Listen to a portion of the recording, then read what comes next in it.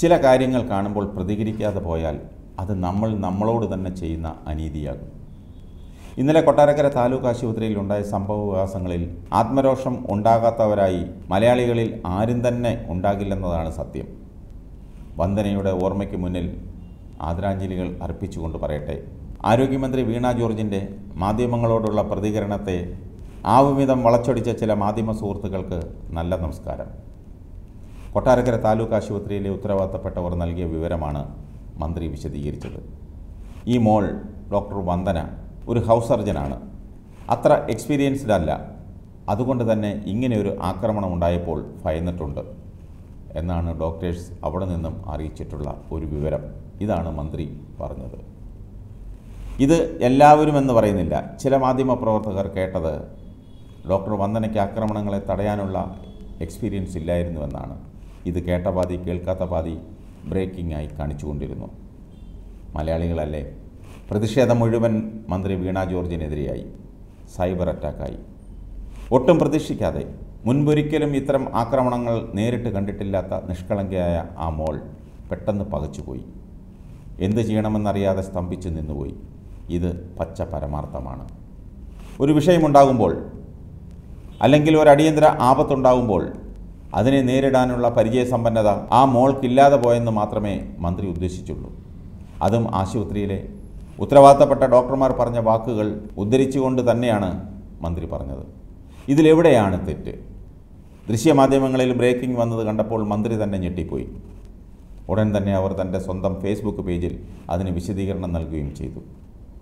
അതൊന്നും കാണാതെയാണ് ഇപ്പോഴും മന്ത്രിക്കെതിരെ രാഷ്ട്രീയമായിട്ട് പോലും ചിലർ കുറ്റപ്പെടുത്തുന്നത്. പുരവേകുമ്പോഴല്ലേ വാഴ വെട്ടാൻ പറ്റൂ? ഇനി അതിന്റെ പിന്നാമ്പുറം ഒന്ന് പരിശോധിക്കാം. സന്ദീപ് എന്ന ഒരാൾ പല പ്രാവശ്യം പോലീസ് സ്റ്റേഷനിലേക്ക് വിളിക്കുന്നു. അയാളെ ആരോ കൊല്ലാൻ വരുന്നുവെന്ന് പറഞ്ഞാണ് ഫോൺ വിളിക്കുന്നത്. പോലീസ് ഓടിയെത്തുന്നു. മറ്റൊരാളുടെ വീടിന്റെ അടുക്കള ഭാഗത്ത് ഒരു വടിയും പിടിച്ചു നിൽക്കുന്ന സന്ദീപിനെ കാണുന്നു. മറ്റു ചിലർ മാറി നിൽക്കുന്നുണ്ട്.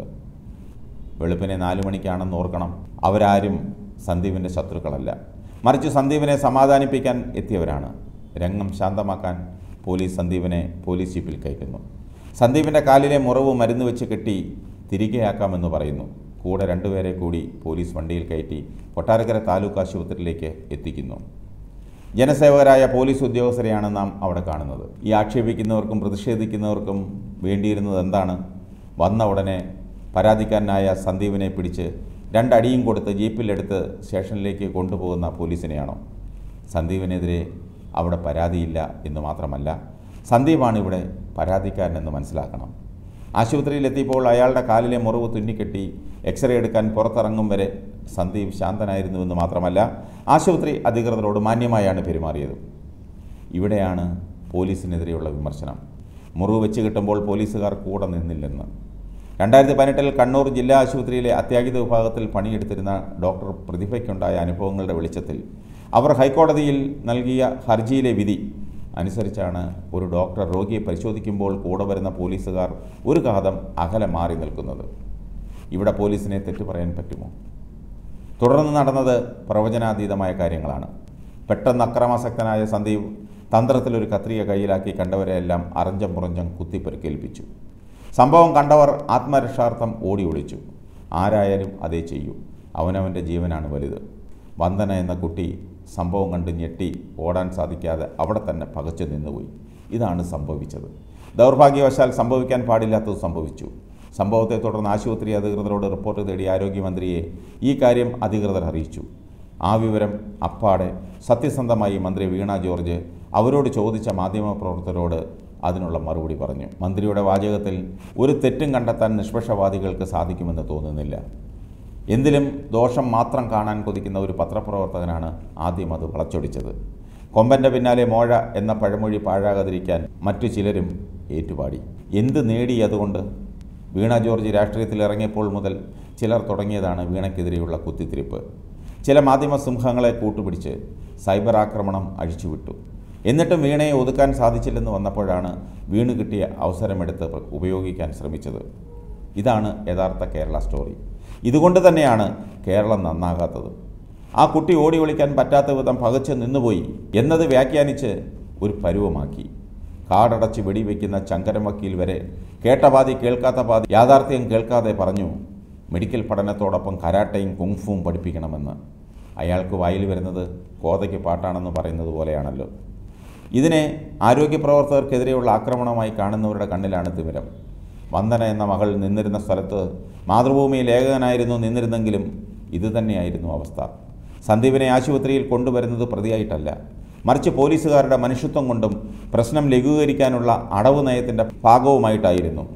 ഇയാളെ ആശുപത്രിയിൽ കൊണ്ടുവന്ന പോലീസുകാർക്ക് ആ സന്ദർഭത്തിൽ അതല്ലാതെ വേറെ വഴിയില്ല. പോലീസിലെ പലരും കുറ്റവാളികളാണെങ്കിലും നല്ലൊരു പങ്കും നല്ല രീതിയിൽ കാര്യങ്ങൾ നടന്നു പോകണമെന്ന് ആഗ്രഹിക്കുകയും പ്രവർത്തിക്കുകയും ചെയ്യുന്നവരാണ്.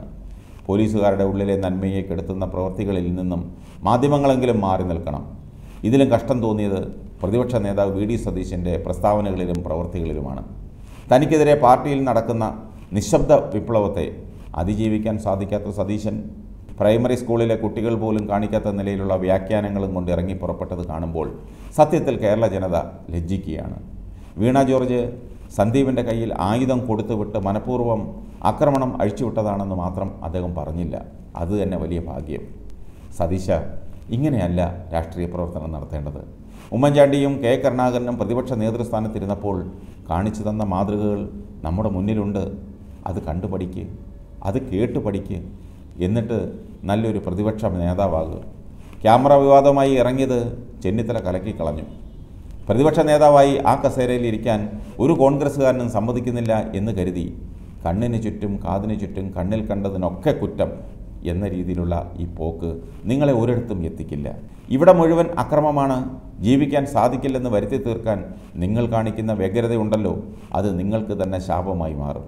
വീണ ജോർജിനെയും ആരോഗ്യവകുപ്പിനെയും വിമർശിക്കേണ്ട ഒരുപാട് അവസരങ്ങൾ നിങ്ങൾക്കുണ്ടായിരുന്നു. അത് നിങ്ങൾ പാഴാക്കി കളഞ്ഞു അസ്ഥാനത്തുള്ള വിമർശനം അത് നിങ്ങളെയും കൊണ്ടേ പോകൂ. സതീശനൊന്നുകൂടി മനസ്സിലാക്കണം. ഈ സംസ്ഥാനം എങ്ങനെയാണ് ഇങ്ങനെയായതെന്ന്. അതിന് ഏതാണ്ട് രണ്ടര പതിറ്റാണ്ട് പുറകോട്ട് പോകണം അന്ന് സതീശൻ നിയമസഭ കണ്ടിട്ടില്ല. ആയിരത്തി തൊള്ളായിരത്തി തൊണ്ണൂറ്റിയാറിൽ നിങ്ങളുടെ ആചാര്യനായിരുന്ന എ കെ ആന്റണിയുടെ ചാരായ നിരോധനത്തിൽ ചെന്ന് അവസാനിക്കും അന്വേഷണത്തിന്റെ ആകത്തുക. തൊള്ളായിരത്തി തൊണ്ണൂറ്റാറിലെ നിയമസഭാ തെരഞ്ഞെടുപ്പിൽ തുടർഭരണം കിട്ടാൻ സ്ത്രീകളുടെ വോട്ട് ലക്ഷ്യമാക്കിയാണ് ആന്റണി ചാരായ നിരോധനം നടപ്പാക്കിയത്. ഇന്ത്യൻ നിർമ്മിത വിദേശ മദ്യത്തിന്റെ നികുതി പത്ത് ശതമാനത്തിൽ നിന്നും ഇരുപത് ശതമാനമാക്കാൻ മന്ത്രിസഭ തീരുമാനിച്ചു. എന്നാൽ പത്രസമ്മേളനത്തിൽ മുഖ്യമന്ത്രി എ കെ ആന്റണി പറഞ്ഞത് ഇരുന്നൂറ് ശതമാനമാക്കാൻ തീരുമാനിച്ചുവെന്നാണ് അവിടെ തുടങ്ങി താളപ്പിഴകൾ. അൻപത് രൂപയ്ക്ക് ഒരു പൈന്റ് വാങ്ങി കുടിച്ചിരുന്നവർ പെട്ടെന്ന് അഞ്ഞൂറ് രൂപയുടെ നിലവാരത്തിലേക്ക് ഉയർന്നു. നൂറ് രൂപ കൈക്കൂലി കൊടുത്ത് സാധിച്ചിരുന്ന കാര്യം ആയിരവും രണ്ടായിരവും രൂപയിലേക്ക് എത്തി. കേരളം അതപ്പതിച്ചു അതുവരെ മദ്യപിച്ച് വഴിയിൽ കിടക്കാത്തവർ പോലും പാമ്പായി വഴിയിൽ കിടക്കാൻ തുടങ്ങി. മദ്യമല്ല അതിന് കാരണം മയക്കുമരുന്നാണ്. കേരളത്തെ മയക്കുമരുന്നിന്റെ തലസ്ഥാനമാക്കിയത് എ കെ ആന്റണിയും കോൺഗ്രസുമാണ്. നിഷേധിക്കാമോ? കേരള ജനത അത് പൊറുക്കില്ല. കോൺഗ്രസിന്റെ അവസാനത്തിന്റെ ആരംഭം അവിടെ തുടങ്ങി. ഇനി സതീശനല്ല ഈശ്വരൻ നേരിട്ടിറങ്ങി വന്നാലും കോൺഗ്രസിനെ ഉയർത്തെഴുന്നേൽപ്പിക്കാൻ സാധിക്കില്ല. അത്രമാത്രം നശിച്ചുപോയി. സ്തുതിപാഠകർ നിങ്ങളെ വാനോളം പുകഴ്ത്തുമ്പോൾ കേൾക്കാനൊരു സുഖം തോന്നും. പക്ഷേ യാഥാർത്ഥ്യം അതല്ല. അധികാരമോ സമ്പത്തോ സൗന്ദര്യമോ ഉള്ള കാലം മാത്രമേ ജനം കൂടെ ഉണ്ടാകൂ. അതാണ് പൊതുജനം.